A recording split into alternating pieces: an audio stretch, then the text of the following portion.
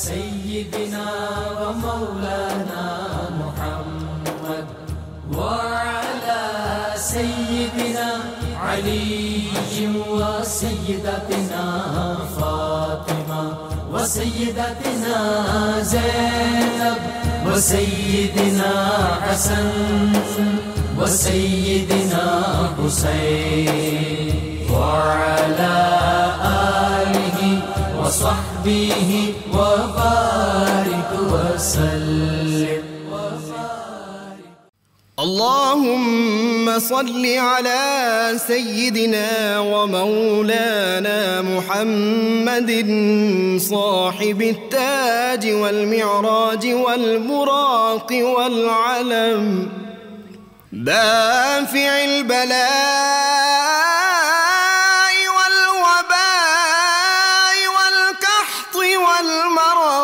والألم اسمه مكتوب مرفوع مشفوع منقوش في اللوح والقلم. سيد العرب والعجم اسمه مقدس معطر مطهر منور في البيت والحرم. شمس الضحى بدر الدجى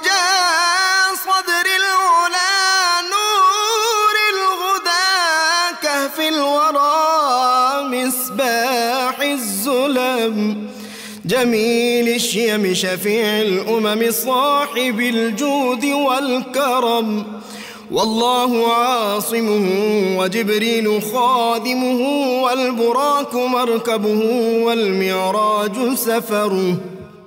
وفوق سدرة المنتهى مقامه وقاب قوسين مطلوبه والمطلوب مقصوده والمقصود موجود.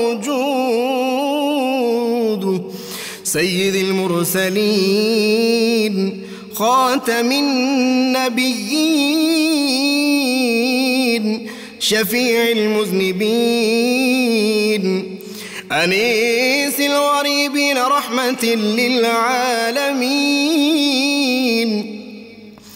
راحة العاشقين مراد المشتاقين شمس العارفين سراج السالقين مصباح المكربين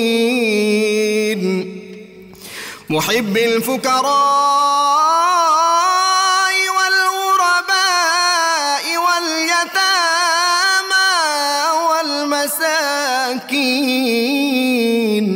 سيد الثقلين نبي الحرمين إمام القبلتين وسيلتنا في الدارين. صاحب قاب قوسين محبوب رب المشرقين ورب المغربين. جد الحسن والحسين مولانا ومولى الثقلين. سيدنا أبي القاسم محمد بن عبد الله نور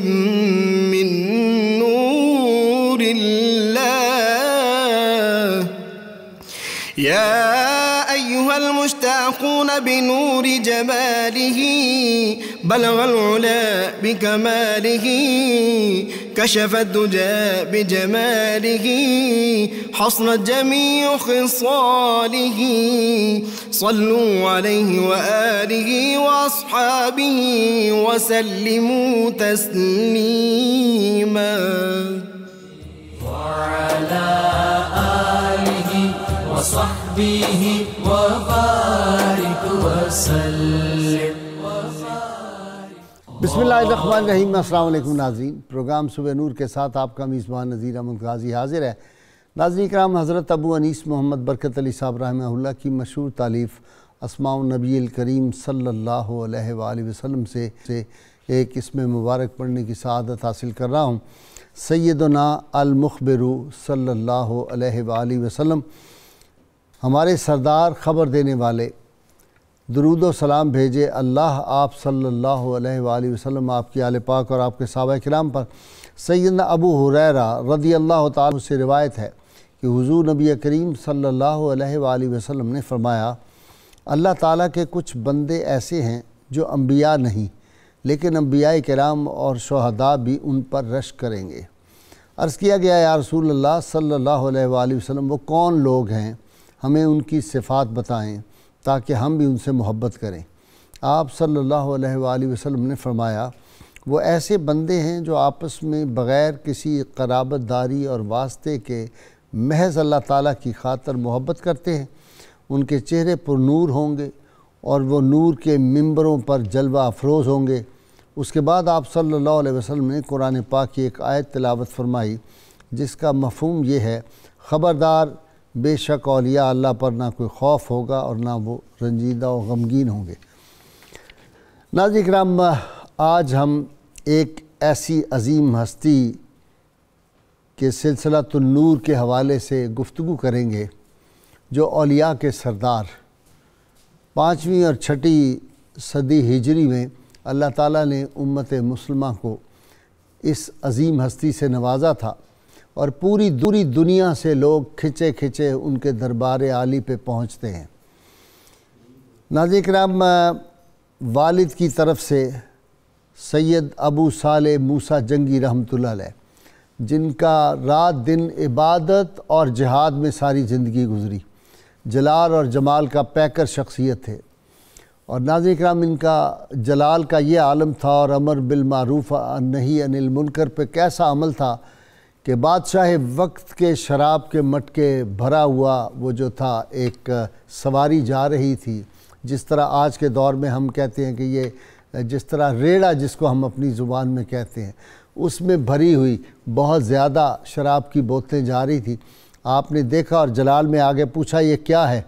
تو لوگوں نے توقف کیا بادشاہ کے جو کرندے تھے، تو انہوں نے اپنے ہاتھ میں جو عصا تھا اس سے ساری بوتلیں توڑ دیں۔ اور ناظرین کرام، یہ ان کا معاملہ تھا اور ساری زندگی اللہ کی راہ میں انہوں نے جہاد کیا اور والدہ اس ہستی کی جو ہیں وہ ام الخیر سیدہ فاطمہ طیبہ طاہرہ تھیں اور یہ سلسلہ النور سے جو ان کا تعلق تھا، ان کا اوپر سلسلہ نصب جو ہے، وہ والد کی طرف سے امام حسن علیہ السلام تک اور والدہ کی طرف سے امام حسین علیہ السلام تک نجیب الطرفین، یہ سید اور دا، آپ کے نانا جان جو تھے، وہ اپنے وقت کے بہت بڑے کتب حضرت عبداللہ سومی رحمۃ اللہ علیہ، ان کے بارے میں بھی کہا جاتا ہے کہ وہ قائم اللیل اور سائم الدہر تھے اور اس درجے کے ولی کامل تھے کہ ان کے مرید ایک دفعہ کہیں سفر میں جا رہے تھے، جنگل میں ڈاکوؤں نے حملہ کر دیا تو انہوں نے حضرت عبداللہ سومی کو پکارا کہ، یا شیخ، ہماری مدد فرمائیں۔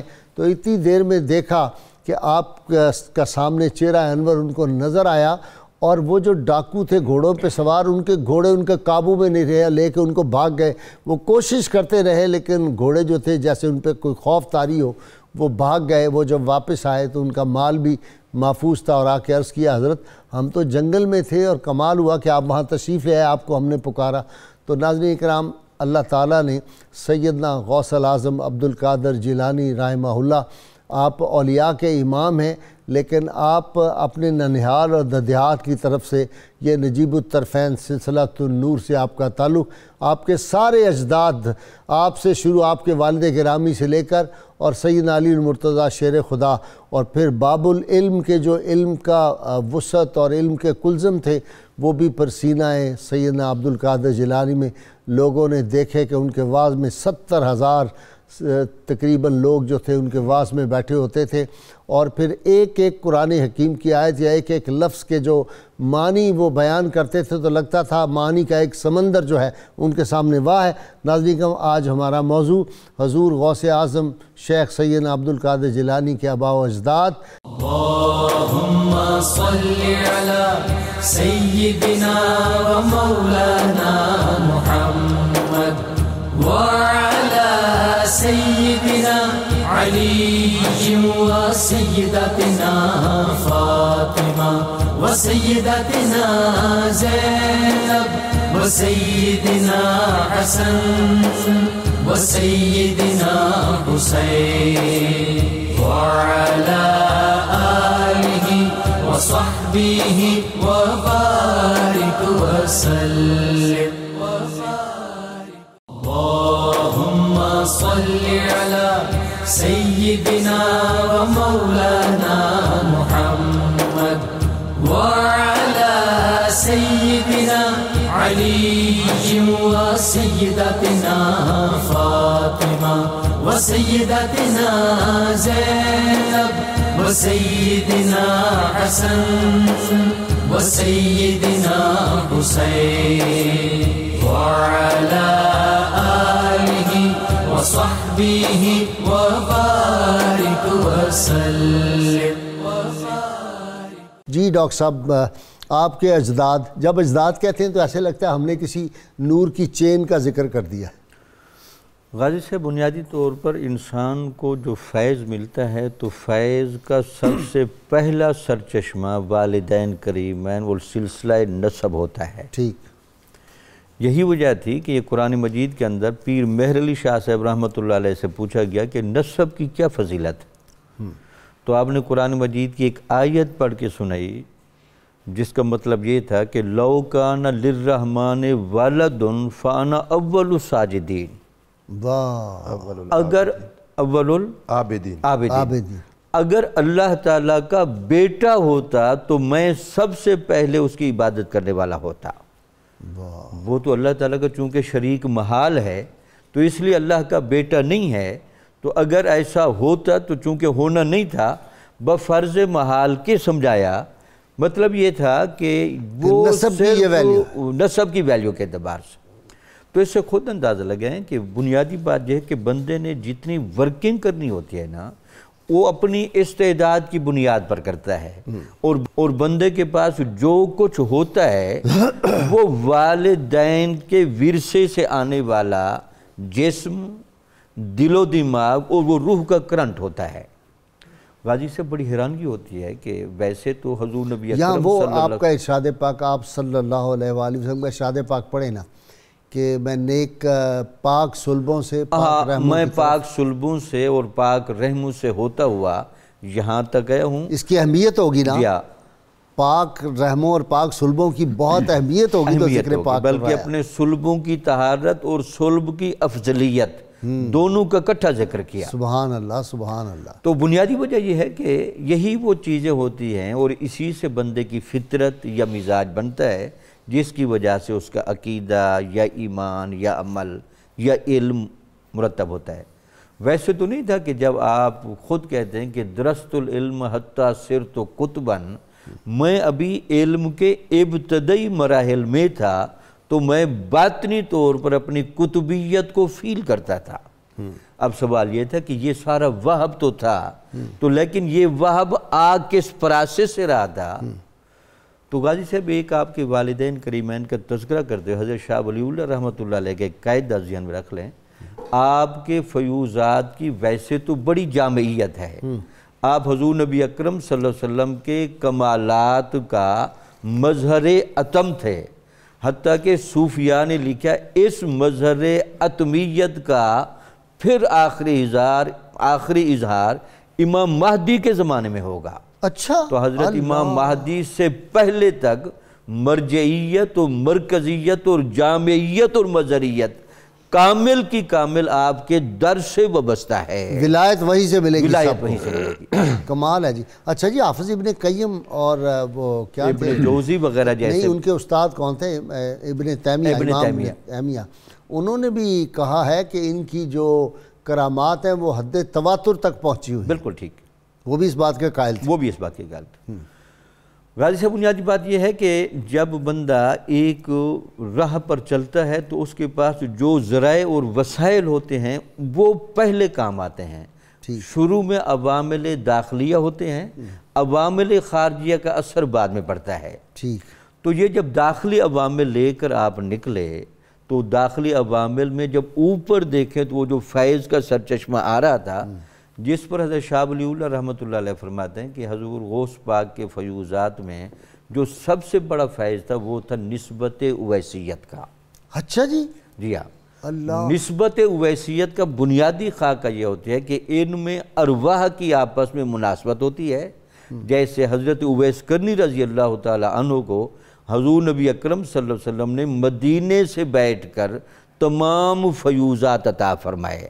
اور حالانکہ ان کے ظاہری لکھا بھی ثابت لباس ہر ڈیٹیل بتا دی۔ ہر ڈیٹیل بتا آپ اللہ ڈیٹیل بھی بتائی اور اپنا جو بھی ان کا باطن کا حصہ تھا ان کو یہاں سے شفٹ بھی فرمایا۔ بالکل۔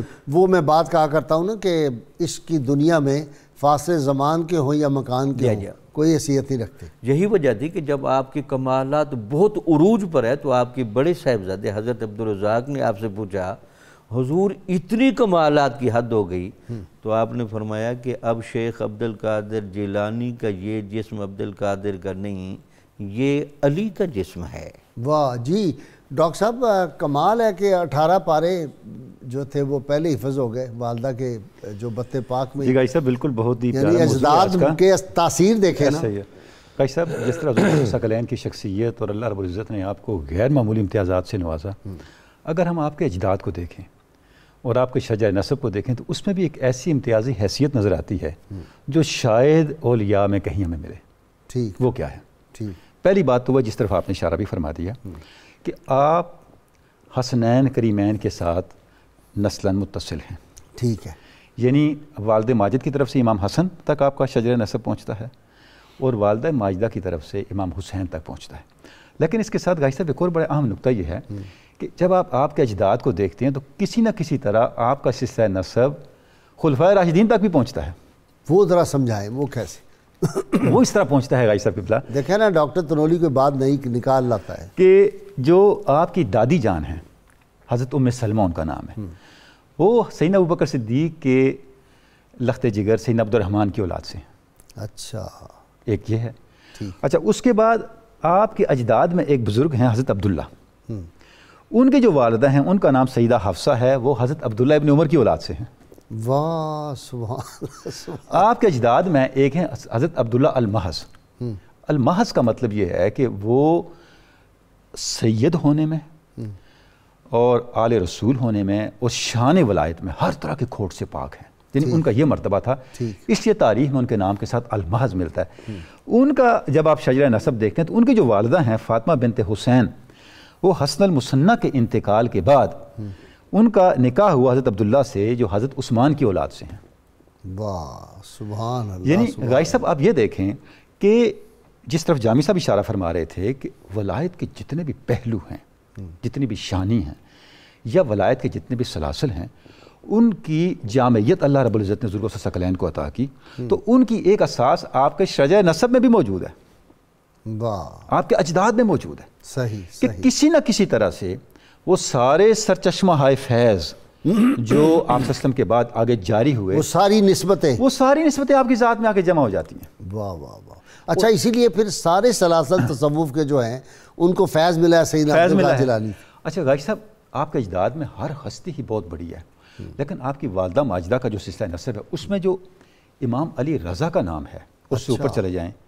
امام جعفر الصادق کو اتنے غیر معمولی ہستیاں اب امام علی رضا جو ہیں وہ آل بیت اطہار کے آٹھویں امام ہیں۔ ان سے اوپر تک پھر زیر آل بیت اطہار کے آئمہ کے ذریعے سے آپ کا سلسلہ نصب والدہ کی طرف سے امام حسین پاک تک پہنچتا ہے۔ اور امام علی رضا وہ عظیم ہستی ہیں۔ آپ دیکھیں غائی صاحب کہ جو ظاہراً و باطناً اپنے زمانے کے امام ہیں۔ طریقت کا یہ عالم کے معروف کرسی جیسی شخصیت ان کی عادت اسلام قبول کرتی ہے۔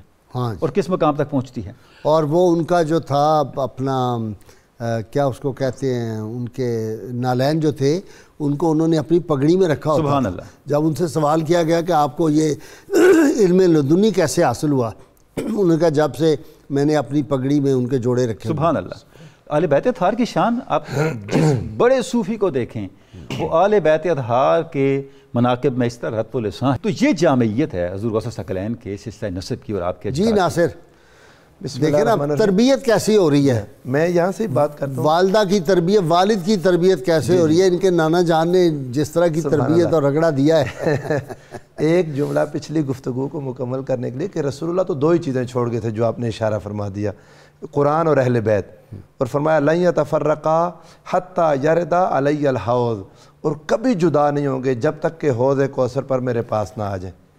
تو یہ ان کو جو طہارت اللہ نے عطا کر دی یہ تو جہاں قرآن ہوگا پھر اہل بیت ہوں گے۔ تو ہم کیسے روک سکتے ہیں اس ذکر سے؟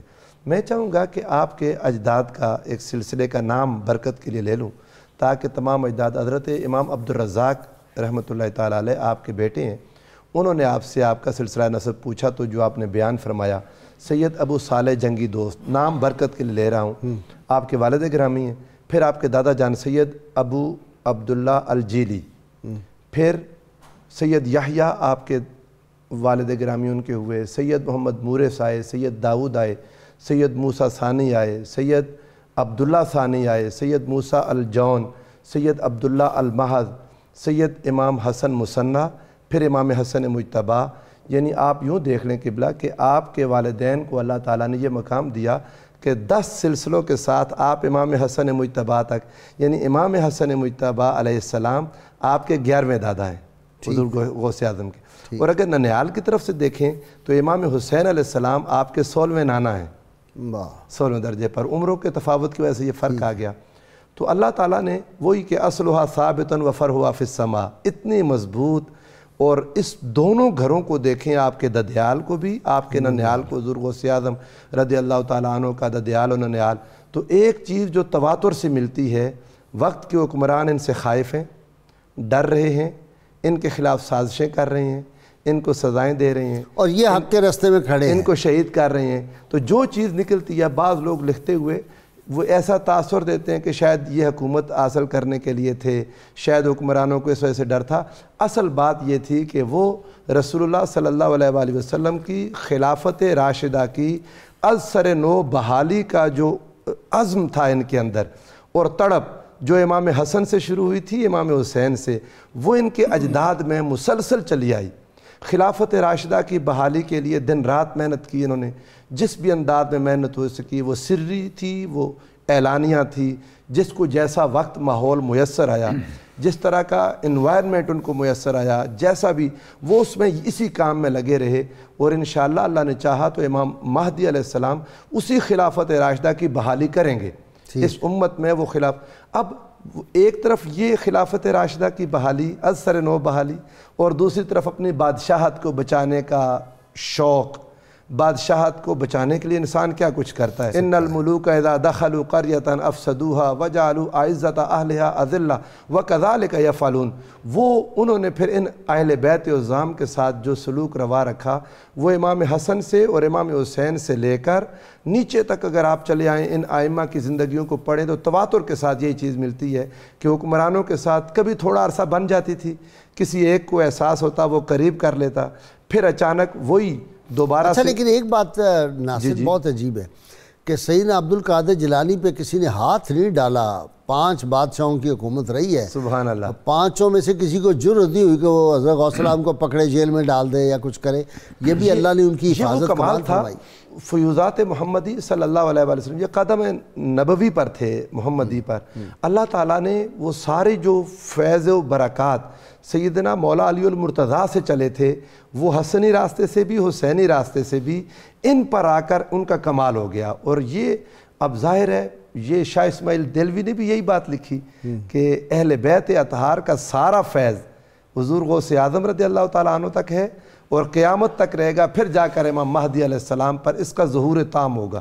اللهم صل على سيدنا ومولانا محمد وعلى سيدنا علي وسيدتنا فاطمة وسيدتنا زينب وسيدنا حسن وسيدنا حسين وعلى آله وصحبه وبارك وسلم.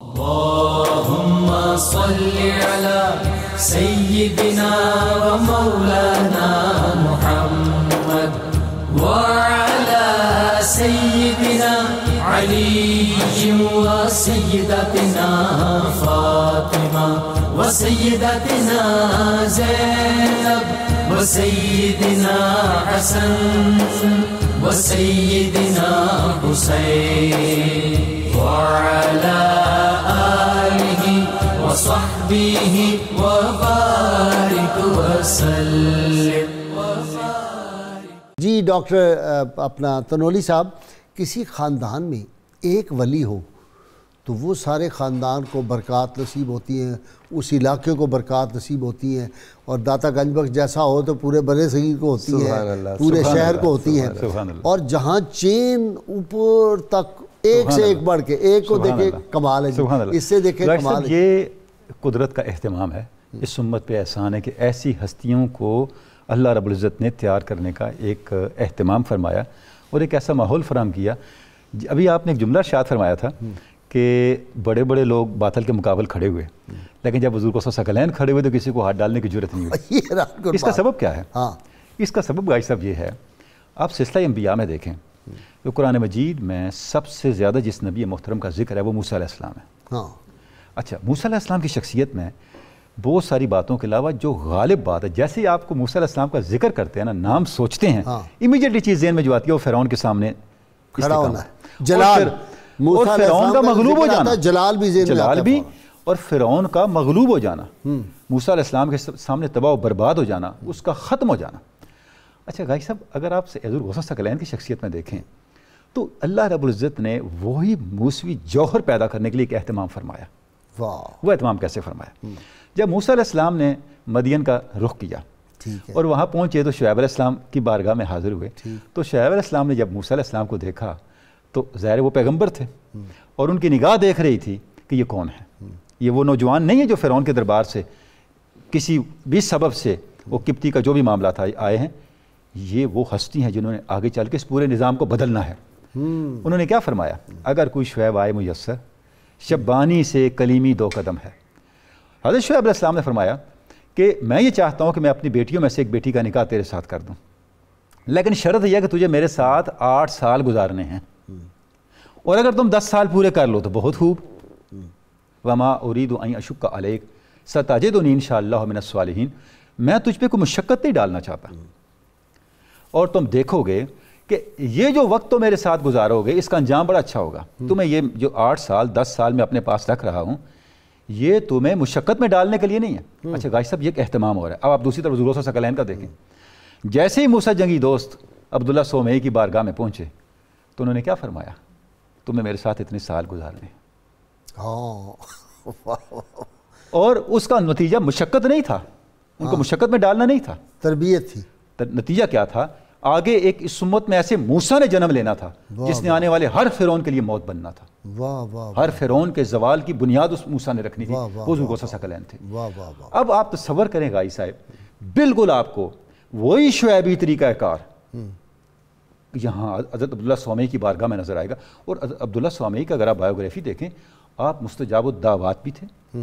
آپ ولی کامل بھی تھے صاحب مجاہب بھی تھے اور اس زمانے کے روسا میں آپ کا شمار ہوتا تھا۔ طے الارض بھی حاصل تھا۔ طے الارض کمالات ابھی تو وہاں پہنچے ہیں۔ اور بڑے بڑے رئیسوں میں آپ کا شمار ہوتا تھا اپنے دور کے۔ یعنی ظاہراً و باطناً آپ ایک نادر روزگار شخصیت۔ ظاہر ہے وہ اتنے بڑے جاگیردار تھے۔ اتنا بڑا باغ سب کچھ تھا۔ سیبوں کا۔ اچھا اب کیا ہوا کہ حضرت شعیب علیہ السلام ہی کے طریق پر حضرت موسیٰ جنگی دوست کو اس پورے نظام سے گزارا گیا۔ بھائی بڑا کمال کا پوائنٹ آپ نے۔ اچھا اب پھر پھر نتیجہ بھی وہی نکالا جو شعیب علیہ السلام نے نکالا تھا۔ اپنی ایک دختر اپنی دختر ان کے نکاح میں کر دی۔ اب موسیٰ علیہ السلام جب چلے تو کہاں پہنچے؟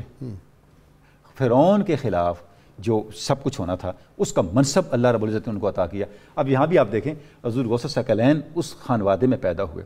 اور دوسری بات آپ بھائی صاحب دیکھیں۔ حضرت ام الخیر آپ کا لقب ہے آپ کی والدہ ماجدہ کا۔ ام الخیر ام الخیر فاطمہ۔ اب آپ دیکھیں سلسلہ قادریہ جس سب سے بنیادی اصول پہ کھڑا ہے سب سے بنیادی اصول وہ کیا ہے؟ وہ صدق ہے۔ صدق۔ صدق۔ یہ کس نے سکھایا؟ ام الخیر نے سکھایا۔ واہ واہ ام الخیر نے سکھایا۔ غائی صاحب آپ کی فتوحات مکیہ پڑھ لیں۔ فتوح الغیب پڑھ لیں۔ فتح ربانی پڑھ لیں۔ جلاء الخواطر پڑھ لیں۔ جس چیز پہ آپ کا زور ہے بس صدق اور اخلاص۔ اور سخاوت۔ آپ کا آخری وقت ہے۔ سخاوت۔ سخاوت۔ وہ بھی رہے اخلاص کہ نہیں غائی صاحب خیر کے کاموں میں سب سے بڑھ کے جو کام پایا۔ سخاوت بھی اگر آپ دیکھیں یہ آپ کے صدق اور اخلاص کی عملی دلیل ہے۔ ٹھیک ہے۔ اصل صدق اور اخلاص۔ ہے۔ دیکھیں آپ کے سے آپ کے شہزادے سیدنا عبدالرزاق نے پوچھا کہ اس میں اعظم کیا ہے؟ آپ فرمائے لفظ اللہ۔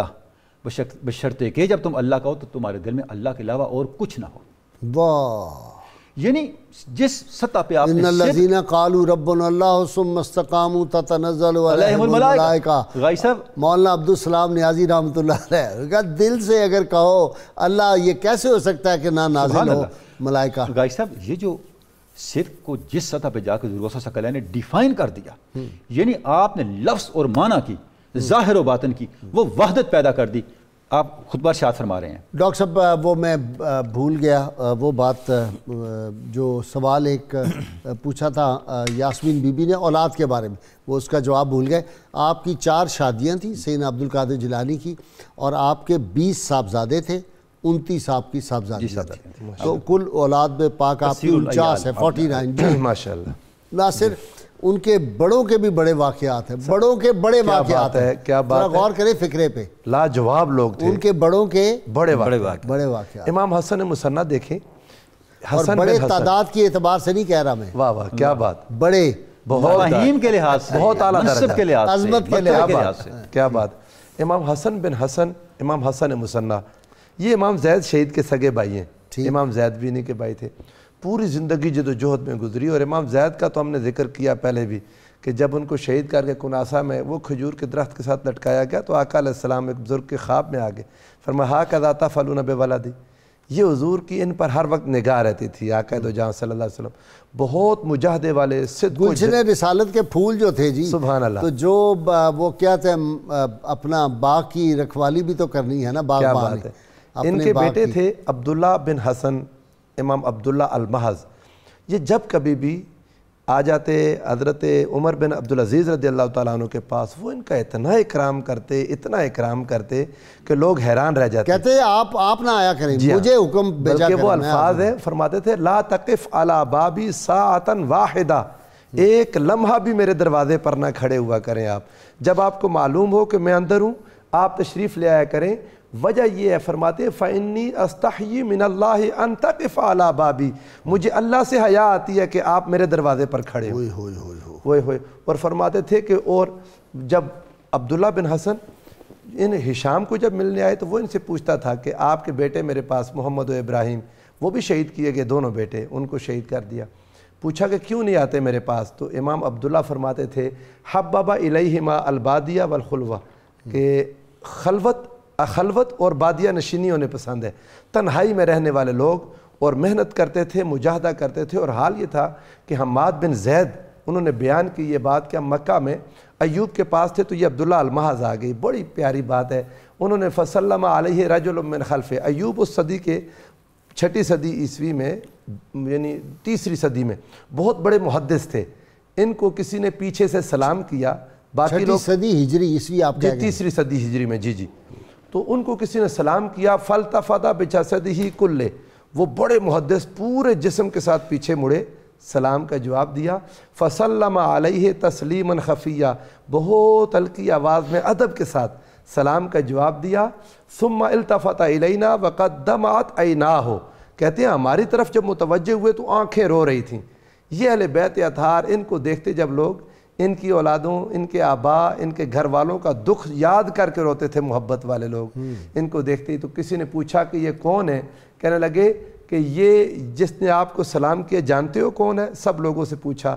لوگوں نے کہا ہمیں نہیں معلوم بچے تھے اس وقت۔ آپ فرمانے لگے ابن النبی ابن النبی ابن النبی۔ نبی کے بیٹے کے بیٹے کا بیٹا۔ یعنی وہ حضور سرورد عالم صلی اللہ علیہ وآلہ وسلم کے اس منظر کو دیکھتے جو جاننے والے۔ اور دوسری طرف اگر دیکھیں آپ، تو ابو جعفر المنصور نے جب اسی امام کو ظلمن زیادتی بھی کی، قید میں رکھا، آپ کو ظلم تھا، یہ بہت بڑا۔ ایسے شخص کو قید میں رکھنا۔ اور پھر جب پکڑ لیا منصور نے، آپ پھر مستور رہے بہت عرصہ جب قید سے نکلے۔ تو اس نے جب پکڑ لیا دوبارہ، تو ہزار درے لگائے۔ آپ زبان سے بولے ہی نہیں۔ درے لگتے گئے، نہیں بولے۔ وہ کہنے لگا عجب تو من ہا، من صبر ہا الا علا سلطان اس نے کہا، بادشاہ کے ظلم پر صبر ان لوگوں کا۔ میں حیران ہوں یہ کیسے عجیب و غریب لوگ ہیں۔ ہاذ الفت الذی لم ترہ عین الشمس۔ یہ وہ نوجوان جسے عرصہ دراز سے سورج کی آنکھ نے دیکھا ہی نہیں۔ اتنے ظلم برداشت کر رہا ہے اور اس طرح خاموشی اور بہادری۔ تو آپ نے فرمایا، آپ نے جب اس کے الفاظ سن لیے تو فرمایا، انی من القوم الذین یزیدہم۔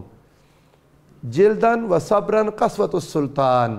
جب سلطان اور ظالم لوگ ظلم کرتے ہیں تو ہمارے صبر میں اللہ اور اضافہ کر دیتا ہے۔ بھائی وہ کون تھے امام حسن کے جنازے کے وقت؟ امام حسین نے کہا کہ اب تم آ گئے ہو اور اتنی تعریف کر رہے ہو کہ اس شخص کا صبر پہاڑوں سے بلند تھا۔ تو پہلے تم ان کو عزیتیں دیتے رہے ہو۔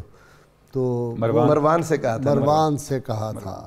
جی ہاں۔ تو یہ جو اجداد پاک ہیں ان کا حوصلہ ان کا صبر استقامت وہ کمال کی۔ جی۔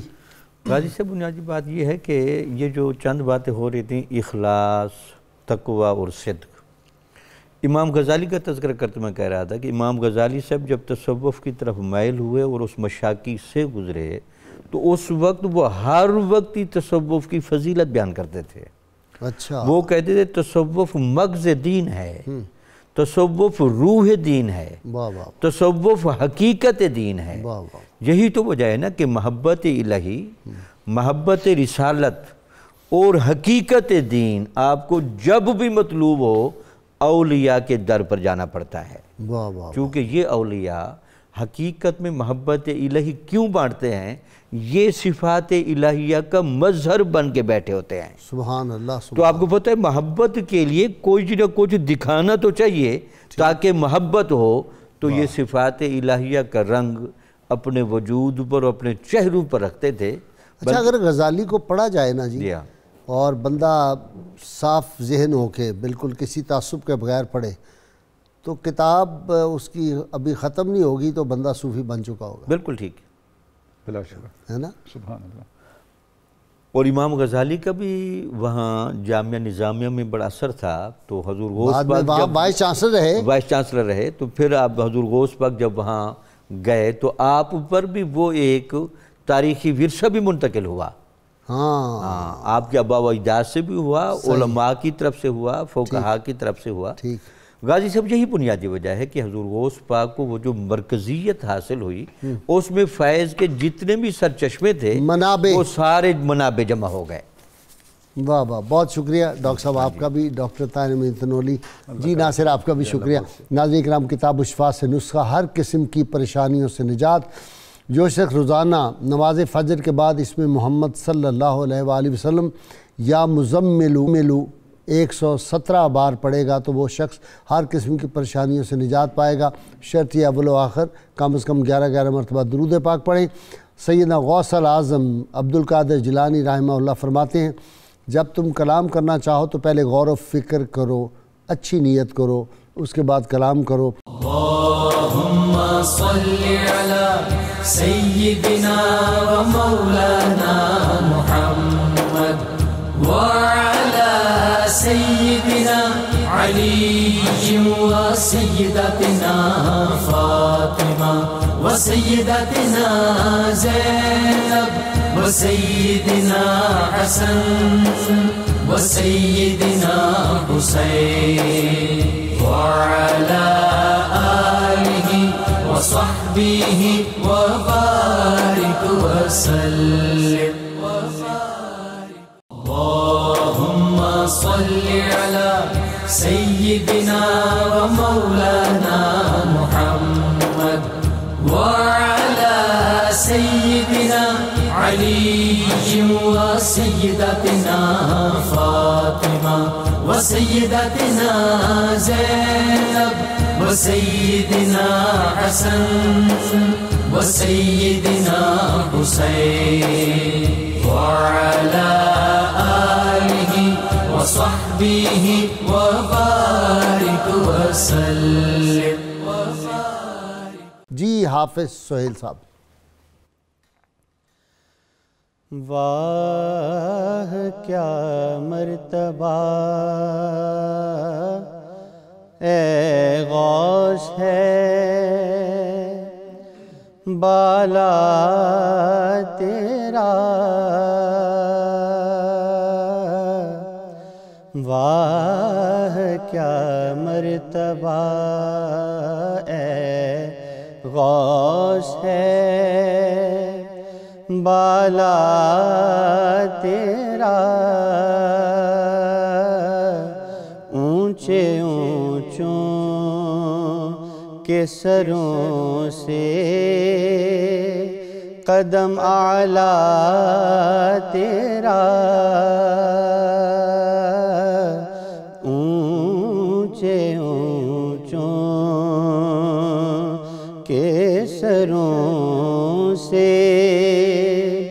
قدم اعلی تیرا۔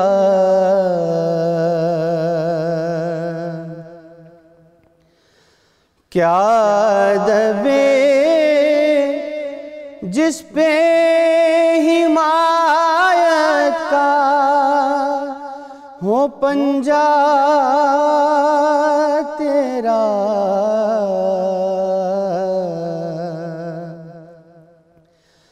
کیا دبے جس پہ حمایت کا ہو پنجا تیرا شیر کو خطرے میں لاتا نہیں کتا تیرا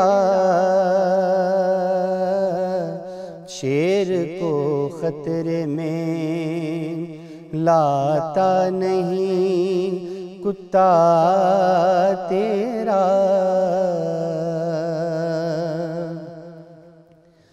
نبوی می علوی فصل بطولی گلشن۔